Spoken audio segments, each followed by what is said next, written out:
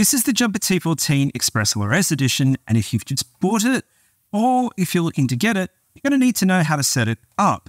So in this video, I'm going to show you how to set up the radio itself and how to get it bound to all of your Express LRS receivers without having to flash any Express LRS firmware, which is a game changer for version 3. And if you do need to upgrade the firmware, show you how to do that as well.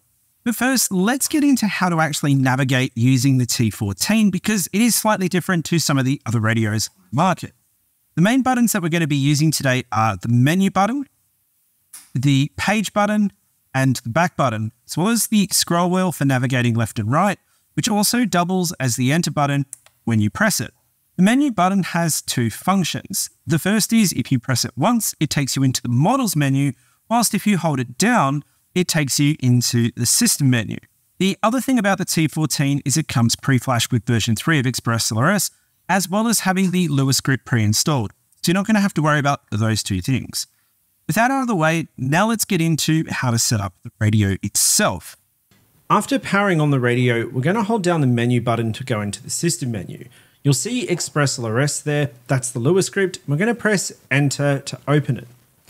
I'm going to show you my preferred settings for Express LRS, but the reason why we're checking the Lua script first is to make sure everything is working correctly. The first thing I always do is I go and set the TX power to 1000 milliwatts. So scroll down to TX power and hit enter. Hit for max power, hit enter and then scroll to 1000 milliwatts and hit enter again. Dynamic we want to set to off and fan threshold to 250 milliwatts before scrolling down and pressing back.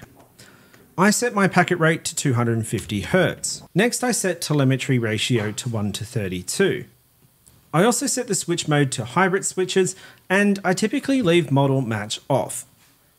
From here we're going to hit the back button twice to go back to the main screen. Now we're going to press the menu button once to go into the model setup. We can see here we're on the model select, which is page 1 of 12, and we're going to press the page button to go into page 2, which is setup. The first thing we're going to do here is scroll all the way down to the bottom and we're going to turn off trainer mode. So we're going to select the model and we're going to tap across to the setup page. We're now going to scroll all the way down to the bottom for trainer mode.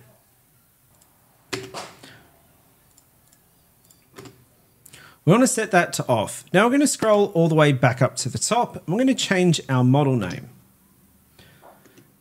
Press enter on model name and this is going to select the first character. Don't worry about what case the characters are because holding down the enter button changes the case from upper to lower and vice versa. Simply scroll across and select the character. When you're ready, hit enter. Or holding down enter to change the case also confirms and moves on. Go and do this to set your model name to whatever you want. I normally use Express LRS. After you've set your model name, we're going to scroll all the way down to internal RF. Now, if yours is set to off, you want to hit enter on mode and scroll across to CRSF. If you only have multi, that means you've got multi-protocol version of the Jumper T14, not the Express LRS one. So if you want to use Express LRS with the multi-protocol version, need to set internal RF to off, external RF to CRSF, then you need to get an Express LRS module, which you plug in the back. If you fly Crossfire, Tracer, Ghost, or even ExpressLRS 900 MHz, set internal to off and external to CRSF, then plug in an external module in the back. If you've got the JP4IN1 version of the T14, do the same and get your ExpressLRS module and plug it into the back as well. You want to make sure external module is set to off if you're using the internal transmitter module on the T14. Here's a handy tip. If you want to use the T14 for the simulator, after you finish creating the model, duplicate it, and then go back into the model setup page and scroll down to internal RF as well as external. Set both to off. And then when you connect to the simulator via USB, you won't have your internal or external module powered up transmitting, A, transmitting for no reason, and also, it's not going to add any RF noise and waste battery, so you're going to get more simulator time. Just remember, since we're going to be using the internal module for ExpressLRS, we want to set that to CRSF. Once we've done that, we're going to press the page button to a couple of times until we get to the inputs page. Before we set up our inputs, this is where we're actually going to need to get a drone and connect it to Betaflight because we do need to know the channel map already on our quad. We're now going to hit connect and what we want to do is go down to the receiver tab. And you can see here in the receiver tab under channel map, I have ATER1234. And what that means is I have ailerons, throttle, elevator, rudder, channels 1, 2, 3, 4. And I need to now make sure that on my radio, the channel map is the same. Couple of things to note here. This is your first FPV radio and you only have one quad, then it's actually going to be easiest to change the channel map in Betaflight rather than having to go through the process of changing the channel map in your radio. But if you're like me, you already have a ton of drones that have a channel map pre-configured and this is a new radio for you, don't want to go and adjust the channel map in your entire fleet, recommend changing the channel map on your radio. So we're going to head into Betaflight and we're going to click connect. And then we're going to head down to the receiver tab. And you can see here my channel map is ATER1234. So meanwhile, we can see in the radio, the channel map is already RETA. Let's head into Betaflight and change that to match the channel map. So we can see here we're on the receiver tab and we've got the channel map ATER. We want to change that to RETA 1234 and then press save.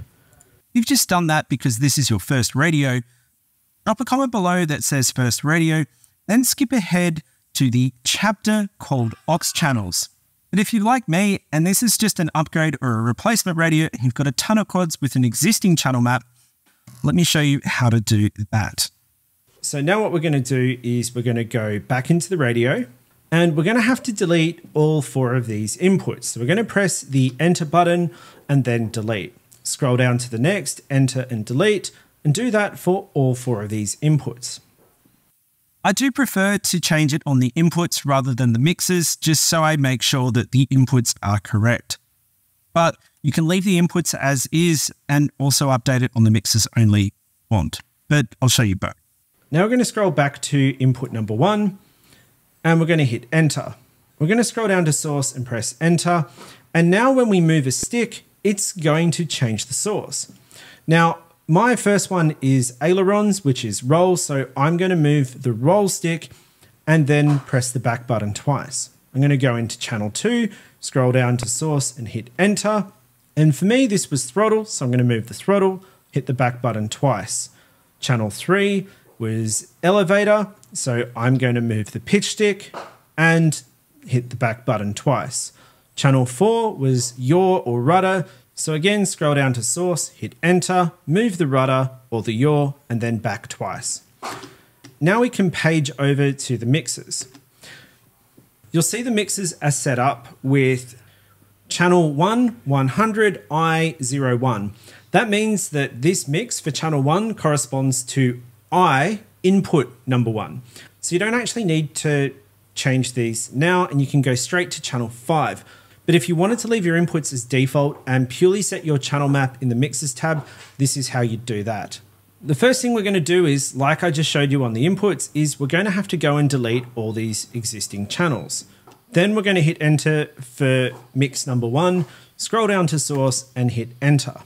You can set the different area at which the source is coming from. Because it's going to be the sticks, this is the axis. So we're going to hit enter.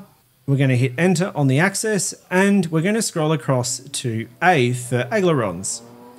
And then hit back to confirm and go back twice and now go to channel 2. Go down to source and hit enter. Select axis. We're going to go to T for throttle. Scroll down to channel 3 and to source and go to axis and then E for elevator. And then channel 4, again the same for access and R for rudder. ExpressLRS requires that channel 5, also known as AUX1, is used for arming and disarming. And that's because, like the four input channels, your sticks, channel 5 is also sent on every packet. Whereas the other switches, such as channels 6, 7, 8, or AUX234, they're sent on every other packet. And this is so that only the crucial information is sent every single packet. So, but the other thing is, ExpressLRS also requires that arming and disarming is done on a two position switch. So you can see here, SA is two positions, it's either on or it's off. The SE button or shoulder button is either on or it's off. Whereas the SC switch is a three position switch and it's on and it's got three positions. And all three of them can have a value. And if you are going to use a three position switch, well, ExpressLRS is only going to send an off or an on and anyway. So the first two positions on this switch are going to be treated as off, whilst the third is going to be treated as on, and it's a waste of a switch. For me, I prefer to use SA as my arming and disarming switch rather than the shoulder buttons because I have a number of different radios and they all have the same SA two position switch, so it just makes it easier from a muscle memory perspective. And like before, we're going to scroll down to source and hit enter, and then we flick the switch that we want to use and hit back twice. Now we're going to go to channel 6, press enter, down to source, and once that's flashing, we're going to flick the switch that we want to use for channel 6 or aux2. We're going to repeat this process for channels 7, 8, and 9, and do this until all of the switches are assigned to channels. Now we've got the on radio setup of the Jumper T14 done, we now need to take care of the ExpressLRS setup, in other words, to get our binding phrase on there so we can get it bound to our quad. The good news is if all of your drones are using version 3 of ExpressLRS, there's actually a really quick trick that doesn't involve flashing. But you are going to be subject to the firmware that comes with the Jumper T14 and not the latest version. Keep in mind, when you buy a radio, I would actually recommend upgrading to the latest version once you do get it, because there could be bug fixes that bring better stability and better performance to the radio. But after that, I really just keep it all on the same major firmware. This might be running 3.4, whilst this is running 3.1 or 3.2. So, as long as they're all on version 3, what I'm about to show you is going to get them bound really, really quickly. So we're going to hold down the menu button to go into the system menu and go into the ExpressLRS Lua script. We're then going to scroll down to Wi-Fi connectivity and hit enter and enable Wi-Fi. This is going to create an ExpressLRS wireless access point or Wi-Fi network that we can connect to from our computer in order to access the ExpressLRS web interface. So we're going to go to the ExpressLRS TX Wi-Fi network and we're going to type in ExpressLRS in lowercase, which is the Wi-Fi password. I'm going to click. Now when we go to 10.0.1, it's going to go straight to the ExpressLRS web configurator. And it's here where we can actually set our binding phrase without having to flash ExpressLRS. So under the Options tab and under Runtime Options, we're going to type in our binding phrase. We're going to hit Save, and it's going to say upload succeeded and we can reboot. Hit reboot. You'll know the reboot is successful because you will be disconnected from the Wi-Fi access point and it will no longer show Wi-Fi running on the Lua script on your radio. After this is done, I'd also recommend power cycling your radio just to make sure that the settings have been applied. The good news is, as long as your radio and your receiver are now running the exact same binding phrase, which is case sensitive, You've just bound all of your gear and you didn't need to flash ExpressLRS. Amazing. But if you did want to update the firmware, which I recommend you should when you get a new radio or when there's a major release, such as version 4, 5, so forth, then let's go and do that now. Now, in order to flash ExpressLRS, if you haven't already got the configurator, this is where you're going to head over to Google and you're going to search for ExpressLRS configurator. If you're not familiar with where you're going, I'd recommend going to the ExpressLRS website first. Then you can go to the configurator setup and you can see download. This is going to take you to GitHub where you can download the version of the ExpressLRS configurator relevant to your computer. Download that and install it. After that's been installed, we're going to grab a USB-C cable and pop it in the top. Then when the mode comes up, we're going to select USB serial VCP. Now we're going to open up the ExpressLRS configurator. So under the releases, you want to select the latest release. Under device category, you can start typing jumper. And we want to select jumper 2.4 if you have the 2.4 gigahertz version of the radio. And we're going to select jumper T14 2.4 gigahertz TX. Flashing method is going to be EdgeTX pass-through. Regulatory domain, we're going to use ISM 2400. Unless you're in Japan or Europe and you want to adhere to those laws, ISM 2400 is going to be best for most people, so it's going to give you the full 1 watt of output power. I'd also recommend putting in your home Wi Fi SSID and password. When you need to update it in the future, if your radio hasn't bound to a receiver within 60 seconds, it's automatically going to connect to your home Wi Fi network and it's going to make updating really, really simple. Then you want to go and set your binding phrase. Make sure this is the same as all your other Express LRS gear and it is case sensitive as well.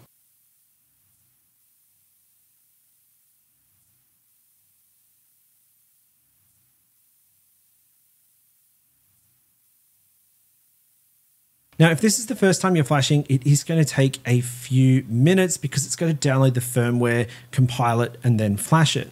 But if you've done this a few times before, it'll be really quick.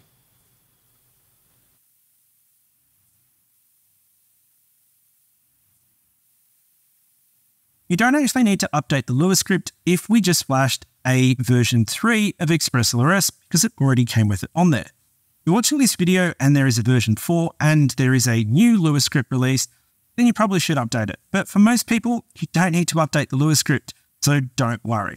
Now, when you turn on your radio and you power up your quad, everything should work. I'd recommend taking your props off, plugging in a LiPo, and doing a test arm and test inside of your house just to make sure everything reacts correctly. I also recommend plugging it into Betaflight and making sure that all the channels, when you move the sticks, moves the right channel, all works before you get out into the field. You try and take off, and the quad flips out, and it doesn't work because you obviously didn't do something. Now, if this video has been a great help for you, you can say thank you by hitting the subscribe button and dropping me a comment, just simply to say thanks. I'm Darren Allatt. Until next time, don't forget to send it.